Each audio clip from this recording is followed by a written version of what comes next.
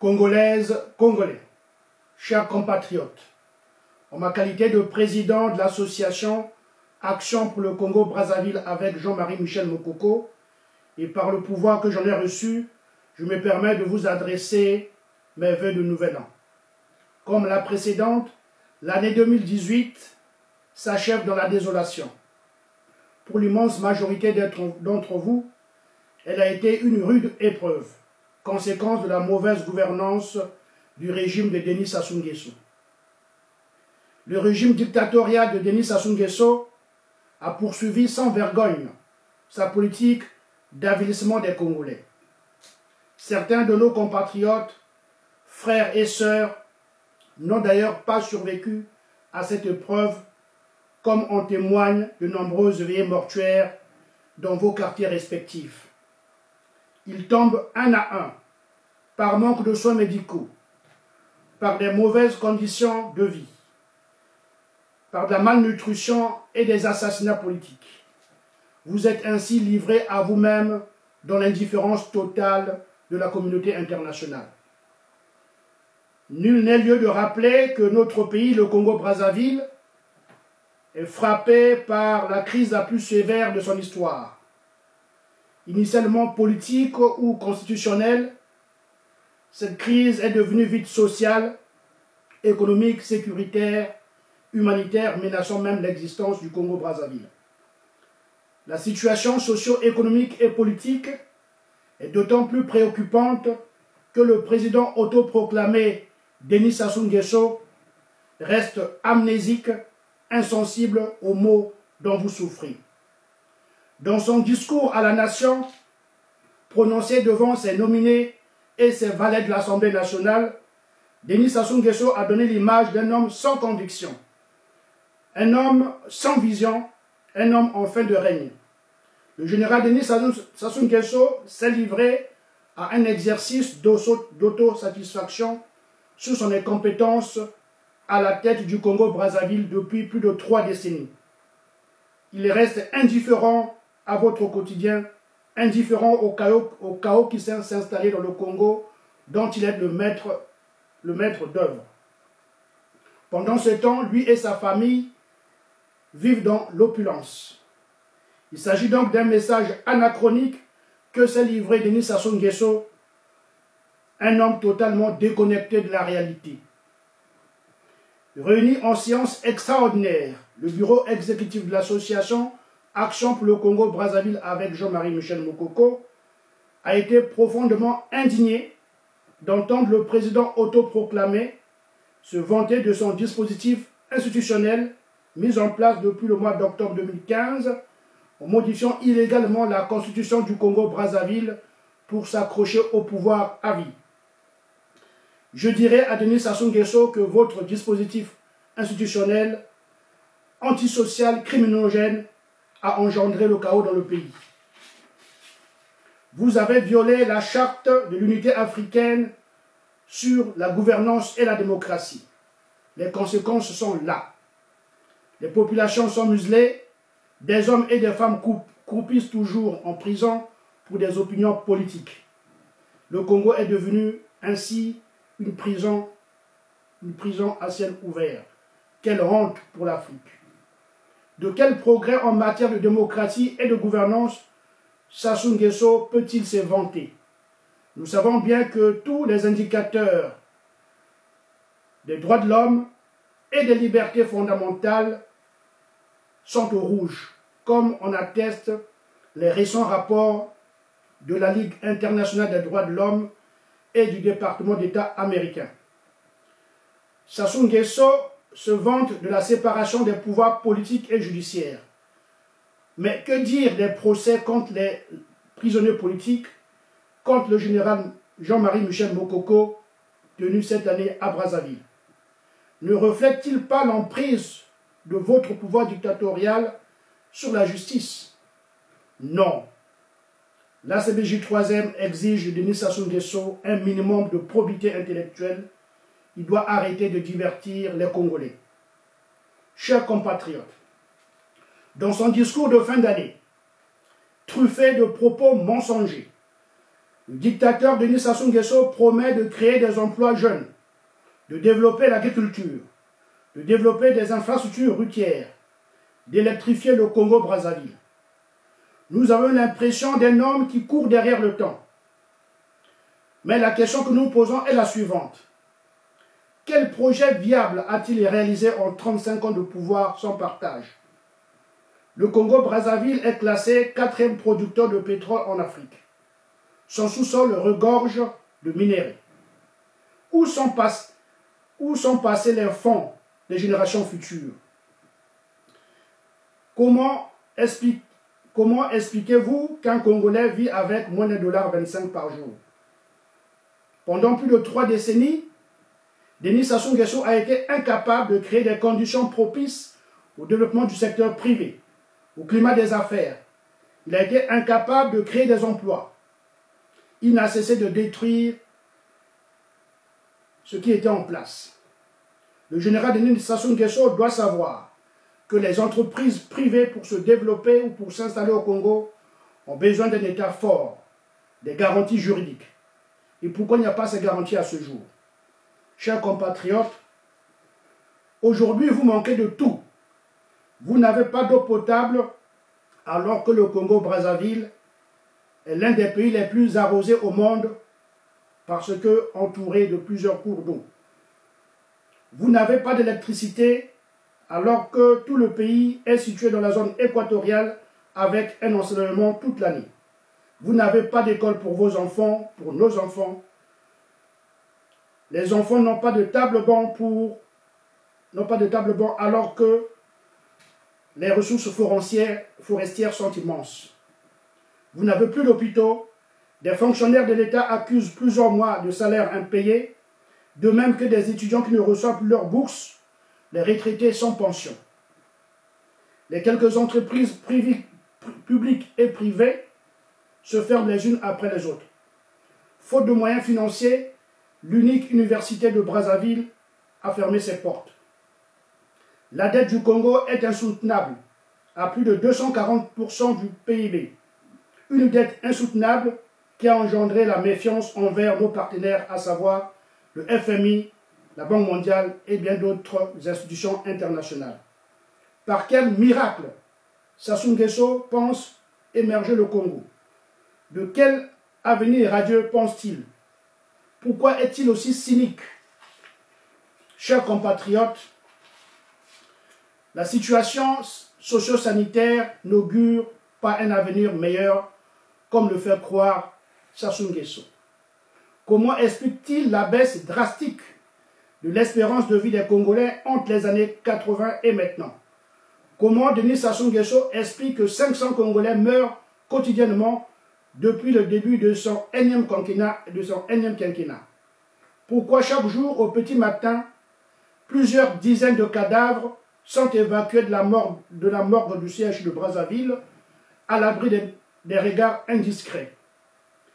N'est-ce pas là une ruse pour détourner l'attention de la population sur le nombre réel des, le nombre réel des décès?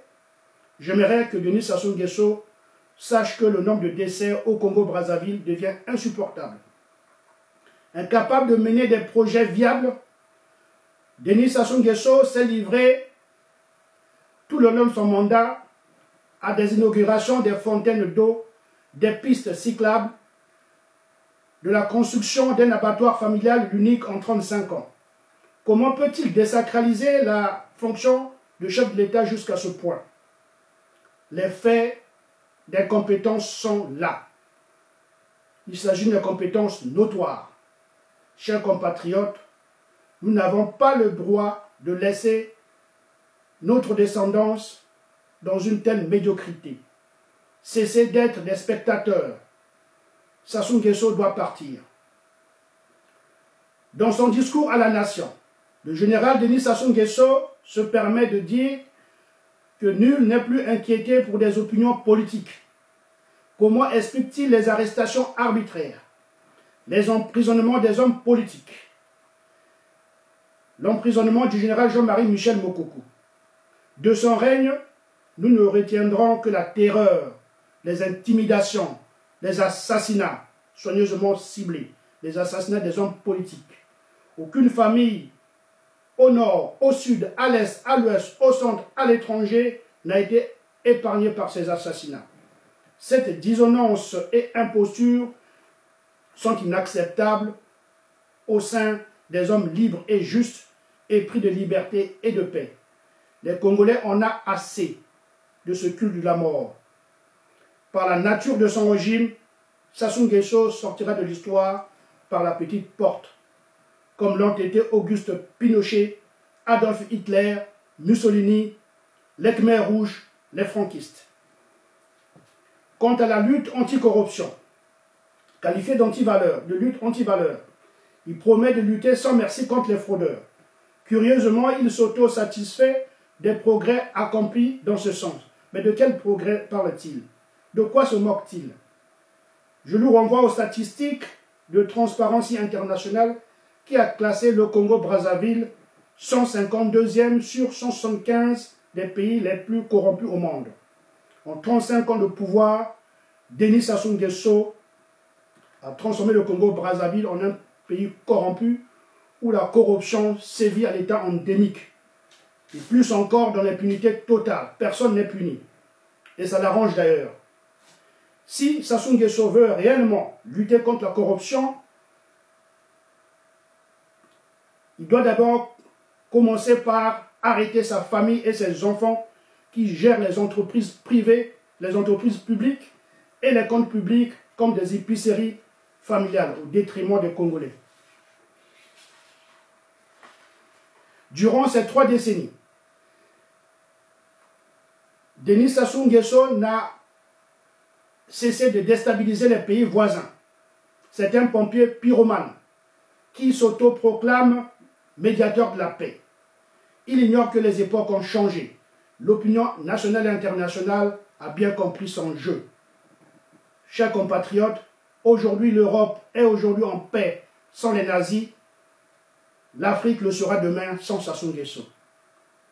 Sassou Nguesso a passé tout le temps à acheter des consciences occidentales. C'est ce qui explique l'omerta de la communauté internationale sur la situation catastrophique du Congo-Brazzaville. Mis à part les assassinats d'hommes intègres, Sassou Nguesso doit sa longévité, politique à l'achat des consciences occidentales. L'association ACBJ3N estime qu'il incombe à la nouvelle génération d'hommes politiques d'impulser une nouvelle forme de coopération entre les pays du Nord et les pays du Sud une coopération gagnant-gagnant qui ne sera pas basée sur l'achat des consciences. En effet, la France-Afrique, dans sa forme actuelle, est incompatible avec la condition humaine. Concernant l'opposition congolaise, Sassou Nguesso s'est félicité d'avoir désigné un chef d'opposition. Je dis bien désigné, ce sont ses propres mots. Si son dispositif institutionnel marchait aussi bien que ça, mais pourquoi désigner un chef d'opposition? Un homme qu'il contrôle. Il se trahit lui-même. Un vrai opposant ne se désigne pas, mais il s'impose par ses idées, ses convictions dans des débats contradictoires. Si son dispositif constitutionnel marchait aussi bien que ça, pourquoi Denis Sassou Nguesso a désarmé l'armée? Pourquoi Denis Sassou Nguesso s'est entouré de mercenaires pour le protéger? Chers compatriotes, à ses opposants accompagnateurs du régime tyrannique, à ces fameux rebelles fabriqués de toutes pièces par Denis Sassou Nguesso. Sachez que vous êtes comptable des crimes économiques et humains commis par Denis Sassou Nguesso au même titre que les dignitaires du régime qui se sont frauduleusement enrichis sur le dos des Congolais. Vous serez jugés par la haute cour de la République après la chute du dictateur. Je dirais à ces valets accompagnateurs, que le, votre temps est révolu. La société civile doit maintenant prendre ses responsabilités et les citoyens doivent arrêter de suivre ces traites de la République. Chers compatriotes, en emprisonnant le général Jean-Marie Michel Mokoku, candidat victorieux aux élections présidentielles du 20 mars 2016, héros du peuple, symbole de la lutte contre la dictature, Denis Sassou Nguesso pensait faire plier cet homme de conviction. C'était méconnaître l'homme. L'homme d'État reste droit dans ses bottes, fidèle à ses principes. Au général Jean-Marie Michel Mokoko, je dirais ceci. Mon général, les Congolais sont fiers de vous, fiers d'homme d'honneur que vous êtes. Mieux vaut mourir ces idées que de trahir le peuple. Votre nom restera à jamais gravé dans nos mémoires. Il restera à jamais associé à la lutte contre la dictature, contre l'oppression et contre l'esclavagisme. Que toute la jeunesse congolaise prenne toutes les dispositions d'un tel témoignage. Enfin, chers compatriotes, j'aimerais terminer mon allocution en m'adressant à mes amis de la diaspora. Chers compatriotes de la diaspora opposés au régime de Denis Sassou Nguesso, que vous soyez membre de, notre association ACBJ 3e France ou membre d'autres collectifs, nous devons travailler en synergie afin de restaurer la démocratie, l'état de droit, œuvrer pour l'alternance politique et pacifique au Congo-Brazzaville. Quant aux acteurs de la diaspora pourris, ceux-là qui se livrent à la division tribale, ceux-là qui sont en collusion avec le régime de Nidhi Sassou Nguesso, et je sais qu'ils sont nombreux sur la place de Paris, ceux-là qui se pavanent sur la place de Paris à la recherche des contacts france-africains esclavagistes, je dirais que vous avez un trait de retard. Ressaisissez-vous. Chers compatriotes, nous devons rester mobilisés pour la libération du Congo. La survie de notre pays en dépend. Je réaffirme aujourd'hui devant vous que non seulement la diaspora opposée à la tyrannie ne participera, pas, à un dialogue convoqué par le tyran, mais aussi elle ne, elle n'ira pas à une quelconque concertation tant que le général Jean-Marie Michel Mokoko et l'ancien ministre André Okombi Salissa resteront en prison. Le leitmotiv de notre association reste et restera le départ inconditionnel du dictateur Denis Sassou Nguesso et sa clan. Restons donc mobilisés, unis et constants dans nos engagements. Je vous prie de ne pas oublier les victimes de la violence de Denis Sassou Nguesso. N'ayez donc pas la mémoire courte. Les Congolais aspirent à vivre en paix et dans la concorde nationale. Congolaises, Congolais, chers compatriotes, au nom de l'association ACBJ 3e France, de ses sympathisants et adhérents, permettez-moi de vous souhaiter de, de très bonnes fêtes de fin d'année. Que l'année 2019 soit l'année de la libération du Congo.